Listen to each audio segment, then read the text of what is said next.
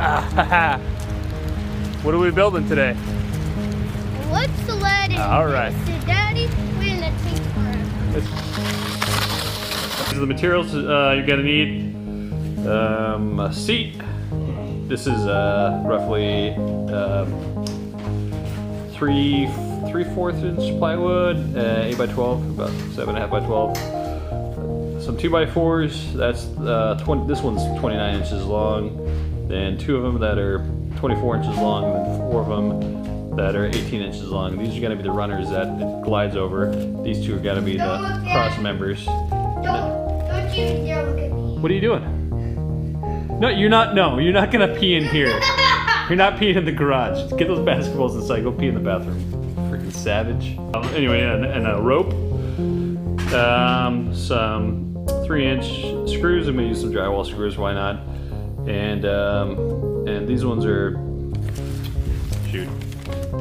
Uh, one and five eighths. Drywall screws.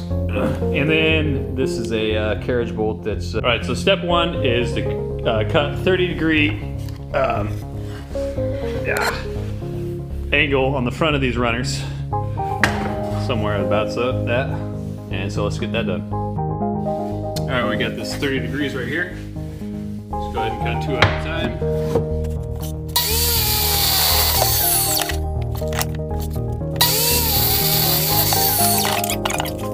All right, so miscalculation here. Yeah, I realize that's not nearly uh, enough of an angle. Oh, I'm just gonna go ahead and max it out to 50. Cut the PVC, four different pieces, uh, two feet long each. Put this on there, lift this down. That's roughly where you want it. This is about about seven inches for me. I have it marked at seven inches right here because that's where it's gonna bend up this way. I'm just gonna bend this back that way. Get my way to heat gun. The wife took my heat gun to her work, and so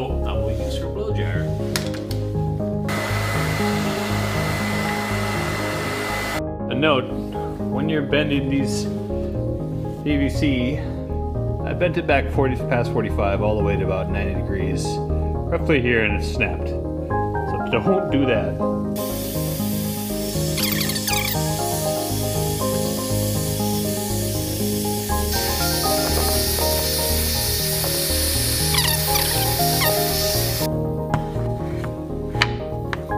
It's just a fun little sled, so there, there's no use wasting your time to make it exact. Just, just get drill it in there and get it done.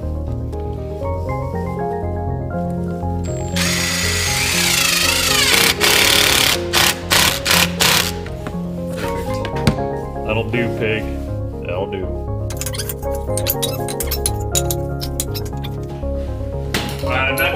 Pre-drill any of this. I'm just gonna go ahead and let's go for it.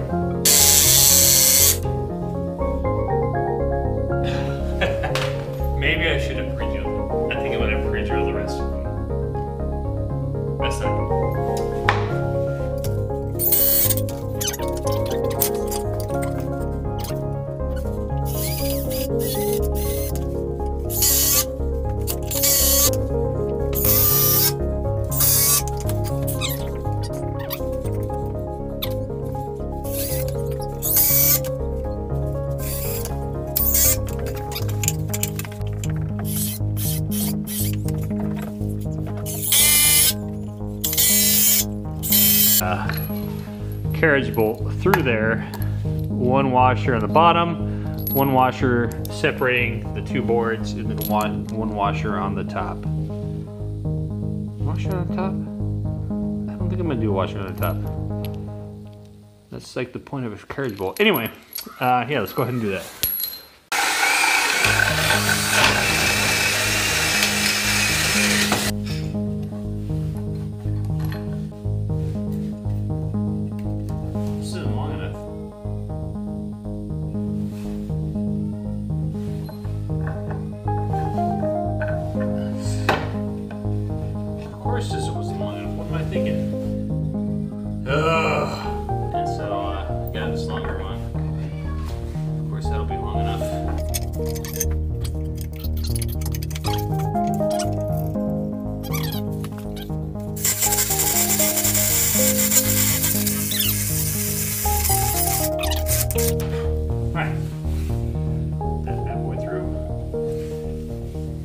burn your edges. Get you fitted for this, buddy. Alright, so go ahead and sit down on it.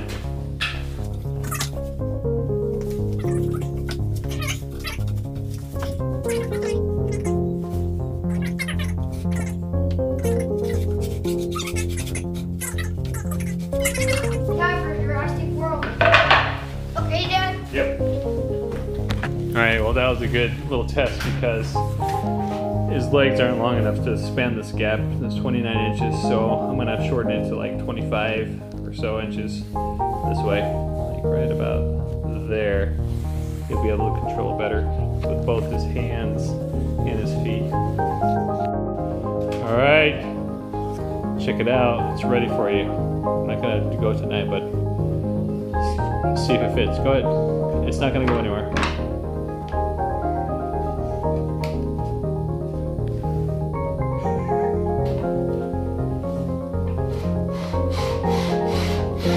Fit pretty good? Yep. Good. A few changes I'd make next time I do this is make it longer. That way it'll stay straight better. Um, second, put the seat as much as in the center as possible. That way the weight of whoever's riding is evenly distributed in the front and the back. Right now it kind of bogs down like this. In the back end it kind of slows it down. Also, um, make the the bottom PVC pieces as long as possible. That way you have a, a lot of contact on the snow to keep it up above the snow. Uh, and also, I didn't mention it, but uh, make sure you use a lock washer on the bottom of that so it stays on. It has a tendency to twist off if you don't have that. Also recommend using uh, it, uh, 2x3s instead of 2x4s. It's kind of heavy. Or use some other type of material to keep it lighter. Kind of heavy, pulling it up and down a hill for kids. All right, thanks for watching. Hope you uh, found this helpful. And um, go out and build one. It's not too hard. See you later.